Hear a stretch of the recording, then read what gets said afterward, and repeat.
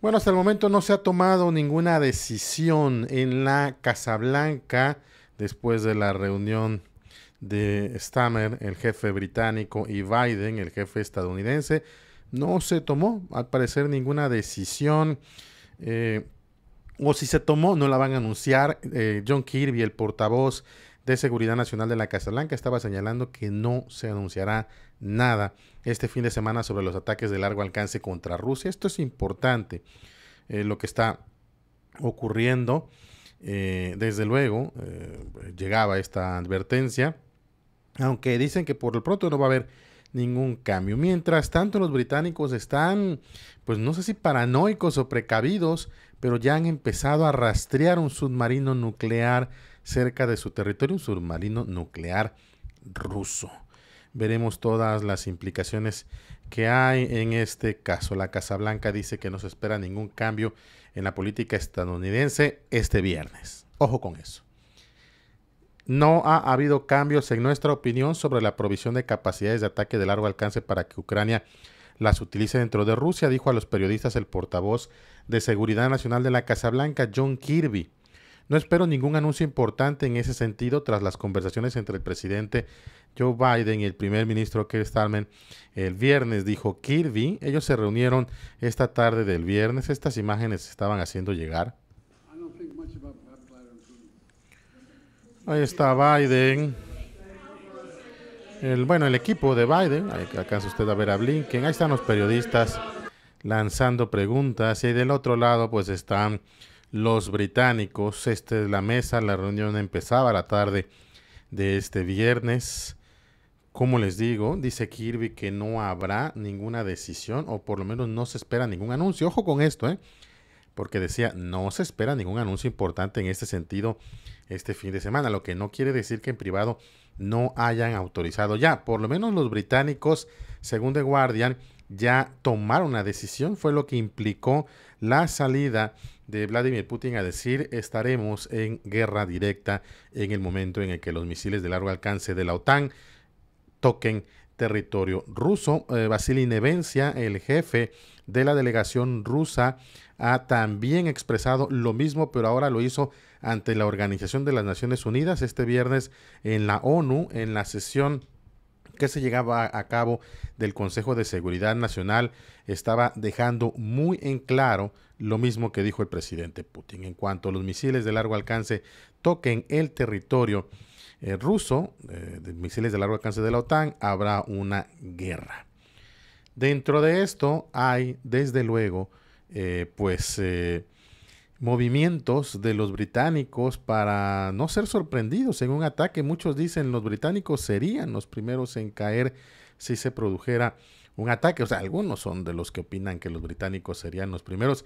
El propio Medvedev estaba señalando esta semana que ah, en el largo plazo, eventualmente, el Reino Unido desaparecerá, decía Medvedev en una de sus polémicas eh, declaraciones. Eh, hay un ánimo más eh, particular contra los británicos porque son los que han sido más rudos en el intento de destruir a Rusia a partir de la guerra ucraniana. Toda la inteligencia, todo el esfuerzo británico está puesto en ese objetivo, destruir, desaparecer a Rusia. Así es que, bueno, si, es, si están haciendo eso, también seguramente esperan alguna represalia y se informaba este viernes 13 de septiembre que buques de la Marina Real están rastreando un submarino ruso en el Canal de la Mancha, en tanto aumentan las tensiones con Moscú. Ojo con esto porque llegaba de distintas fuentes, el Evening Standard decía eso. La Marina Real ha publicado imágenes dramáticas que muestran a sus barcos rastreando buques rusos a través de aguas del Reino Unido. Esta semana, decía el Evening Standard, las fuerzas británicas han estado en alerta máxima mientras varios barcos y aviones rusos se acercaban a territorio británico. Eh, ellos, esta parte es lo que estaban eh, revelando. Según los reportes, el Iron Duke y el Time eh, lideran la operación siguiendo a cuatro buques rusos a través del canal de la, Marcha, de la Mancha y el Mar del Norte.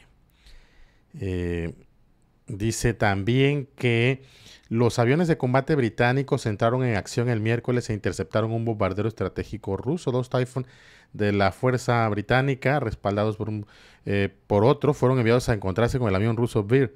El secretario de Defensa, John Healy, dijo este gobierno está comprometido a hacer que el Reino Unido eh, sea seguro en casa y fuerte en el exterior.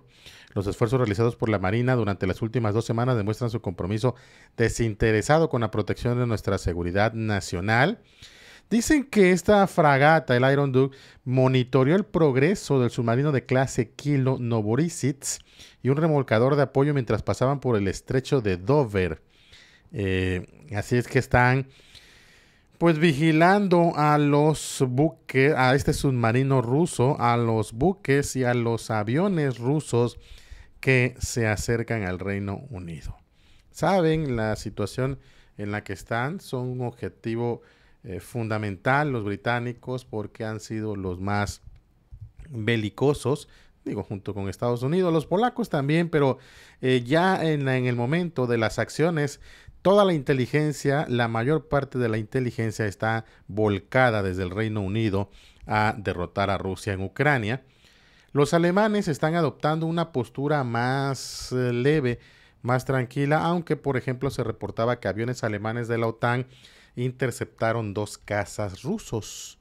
Un Tupolev y un Sukhoi de escolta fueron interceptados sobre el mar Báltico este viernes 13 de septiembre por una patrulla de Eurofighters fighters de la Fuerza Aérea de Alemania desplegada en Letonia que eh, reportó el incidente en la red social X. De acuerdo con la fuente, los aviones de combate no llevaban plan de vuelo ni transportador, el dispositivo electrónico que sirve para facilitar la identificación de las aeronaves en el tráfico aéreo.